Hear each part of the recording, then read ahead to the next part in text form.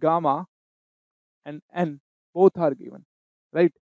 So if we have air it is not necessary that air will always change its state from state 1 to state 2 by isentropic process only right? There may be number of process by which state change can be achieved correct?